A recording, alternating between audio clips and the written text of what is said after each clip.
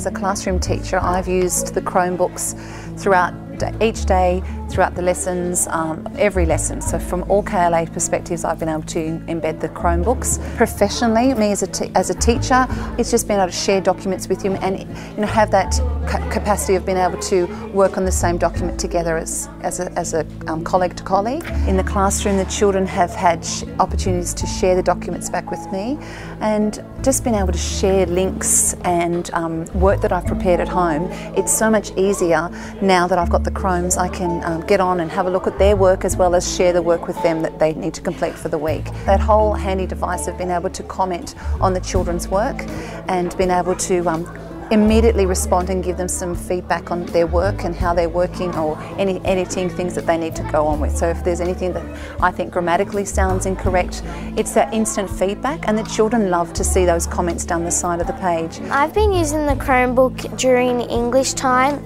um, for my integrated activity to share with my teachers.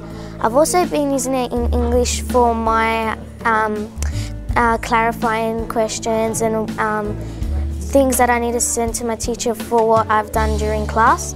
Um, we've been able to do presentations, documents, forms for our reading groups and CBL. We've used them a lot and they've really helped me. They've got so many things like from the document to a presentation to a form and you can send it to the teachers.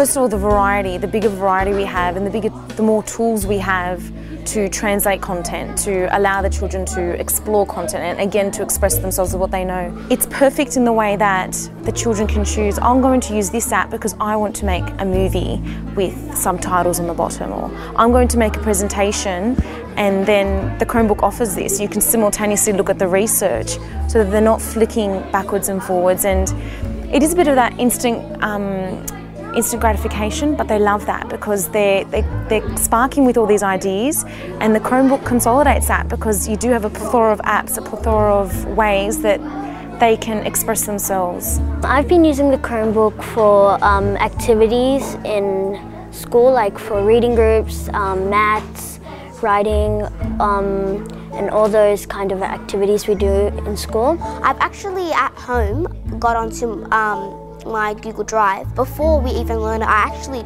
um, search a few things at home, trying to, you know, learn more about the Chromebook.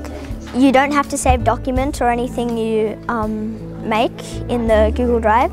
It's like easier to make more documents and like it's easier to share with others and we can um, help each other with our work and show teachers what we've done during the week the way the children communicate, the way they provide each other with peer assessment, peer feedback. It's been more dynamic in terms of the way that they communicate because they talk to each other now. They're more open in terms of this is how I would like this to be done. And you can see that they've grown from that because they're learning from their peers simultaneously. And what more could you ask for in terms of not only learning from their teachers, but really learning from the students, especially in the mixed ability, um, in the mixed ability atmosphere.